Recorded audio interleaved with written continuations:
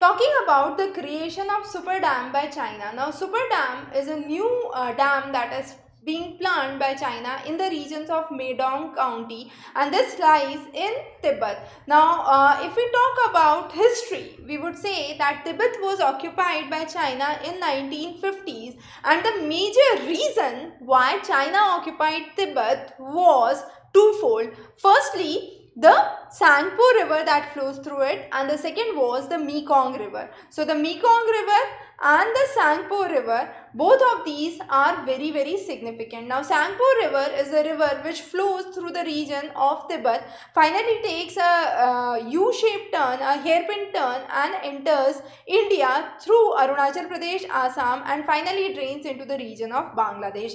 This river has been important strategically because the upstream areas are in Tibet and India and Bangladesh are dependent only on the downstream waters. So let's focus on this whole uh, controversy and the whole story in detail. So let's focus on first of all the Medong County. So this is the region where you have the Medong County area and from this Medong County we can see the river which is in Tibetan known as the Yarlung Tsangpo. Now Yarlung Tsangpo as it's the Tibetan name the original name which is the Tsangpo and in India the Tsangpo is known as Brahmaputra is the original river that flows through this uh, track as you can see. Yarlung Tsangpo or any of the rivers or any of the nature given gift in Tibet has been considered as a precious resource under Tibetan culture. The people of Tibet are consider, consider these things as very very sacred. This Yarlung Tsangpo river specifically is dedicated to the goddess Dorje uh, Phagmo and that is considered as the highest highest uh, uh, consideration in the Tibetan culture. Now, since they consider this river as goddess, any form in which this river could be harmed is not acceptable to the people of Tibet. As a result, before the invasion or before the annexation of Tibet by China, uh, no dams existed in the region of Tibet. However, with the advent of China moving into the regions of Tibet, we have seen numerous dams in the upstream regions that have been built.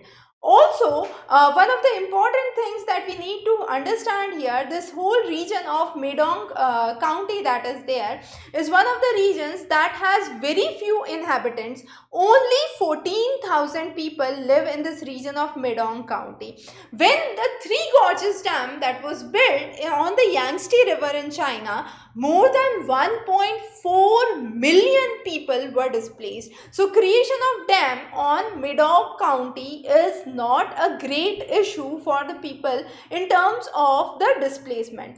If we talk about the origin, uh, Yarlung Tsangpo is the river that originates at a height of nearly 5000 kilometers and at the Yarlung Tsangpo Grand Canyon which is considered as twice the time of Grand Canyon that is believed uh, to the Grand Canyon of US. Uh, this Grand Canyon is the region where the river plunges at nearly 2700 meters and then it moves in a circular path as you can see it moves across the region of Namcha Barwa mountain ranges and takes a U-shaped turn. So if we uh, see here it moves from the region of uh, the Grand Canyon going on to the areas of Medong County and finally moving downwards to the region of Arunachal Pradesh. Now if we zoom in we would see that this Medong, uh, Medong County is very very close to the India's uh, check post. It's just 30 kilometers from India. You have the Geling check post which is the check post at Arunachal Pradesh. So this has been planned at a region very very close to India and therefore has a geopolitical significance. Now what kind of geopolitical significance can you expect? The main idea is if the water is blocked here, what would happen? The regions which are in the downstream would struggle for water. So that is obtaining or restricting the flow of the Brahmaputra, the so-called Brahmaputra in India, the Tsangpo in the regions of Tibet, the water levels or the water would be control just before the Indian boundary starts. Also, less explained of, but one of the reasons is most of the dye factories uh, that China sends the work to are located in Bangladesh and these Bangladesh factories are highly dependent on the waters of Brahmaputra river. So if this water uh, are, water is a scarce commodity there, uh, there could be lack of livelihood and the whole industry could probably move to China as one of the alternatives could be or there could be relocation of the industries that could be witnessed. But ultimately this whole story explains about water wars. Water wars. So water wars could be the future wars that we could expect.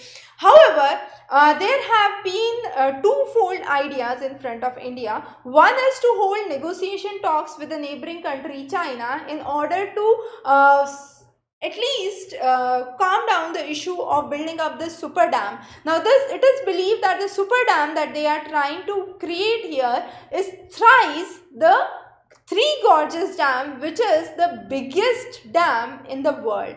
It is believed that this super dam would have a capability to hold nearly 300 billion, uh, to generate nearly 300 billion kilowatts of energy. However, in response, India is saying that probably we would build one of the 10 gigawatts projects on the tributaries of Brahmaputra which would be less than uh, which would be far far less than what the super dam is because in terms of gigawatts if we convert it turns out to be nearly 3 lakh gigawatts. So there, there is no comparison that we can do here.